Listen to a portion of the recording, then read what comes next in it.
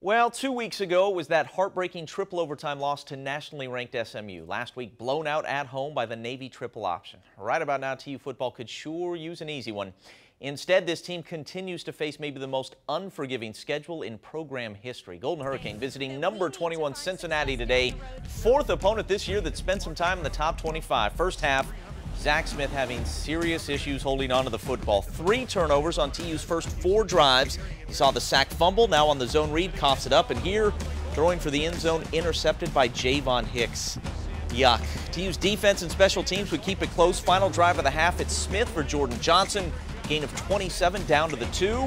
Then it's Skiatook native TK Wilkerson reaching for the end zone. He's got it. Golden Hurricane cuts that lead to 10-7 at the half. Third quarter after a Bearcats touchdown, Trevis Gibson busting through the line like the Kool-Aid man. Sack, fumble, that leads to a TU field goal. They keep it close.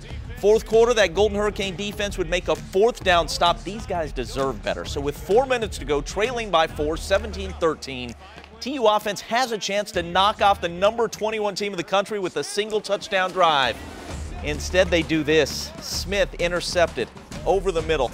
Five turnovers on the day for Smith, and Tulsa loses again 24-13.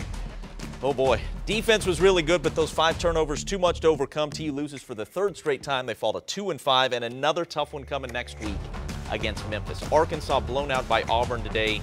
I think it was 52 to 10 who's keeping track at this point. Yeah, right. exactly. Rough day for OSU. 45-27 uh, with yeah, a minute left. I, am not pointing fingers, but somebody here has been chilling, cheering for Baylor. It's not me. You know, it's where I went to school. Uh, I know, I know.